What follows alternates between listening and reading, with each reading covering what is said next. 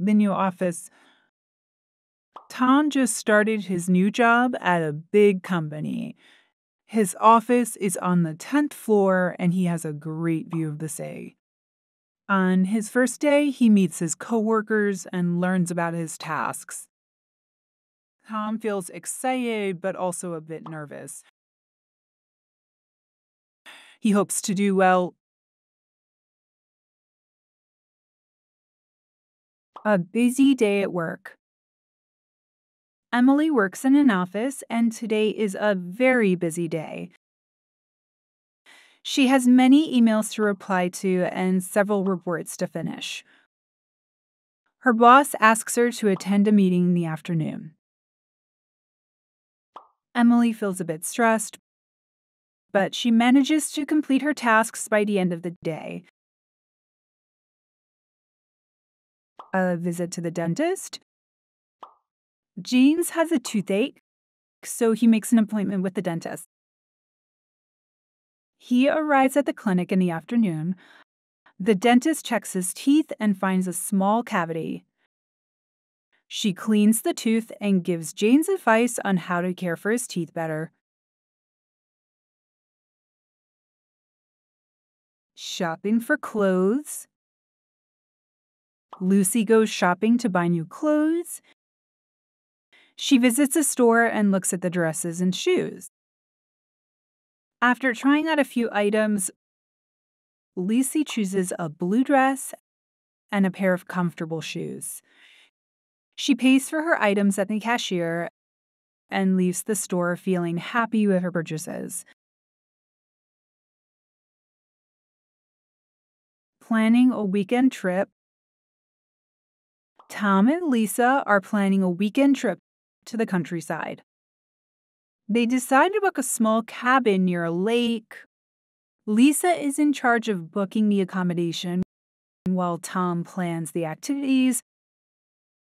They want to go hiking, fishing, and have a barbecue. Both are excited to spend time outdoors and relax. Learning a new skill. Sarah has always wanted to learn how to cook. Last month, she signed up for a cooking class. Every weekend, she attends the class and learns new recipes. Sarah enjoys cooking different dishes and sharing them with her family. She feels proud when they compliment her food and ask for more.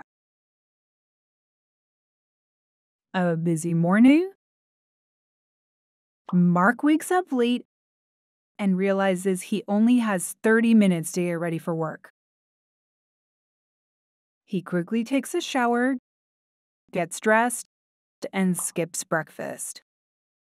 On his way to the office, he gets stuck in traffic.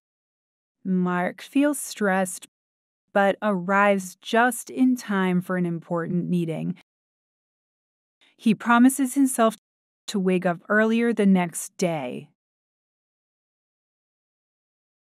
A family dinner. Every Sunday, the whole family gathers for dinner. Today, mom cooks spaghetti while dad sets the table. The children help by bringing drinks and napkins.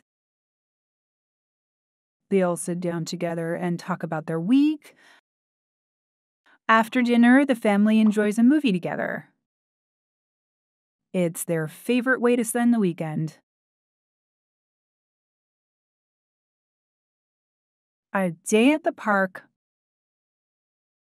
On Saturday, Peter and his family decide to spend the day at the park. They pack a picnic with sandwiches, fruit, and drinks. The children play on the swings and slides, while Peter and his wife relax on a blanket. In the afternoon, they all play a game of football together. It's a perfect family day.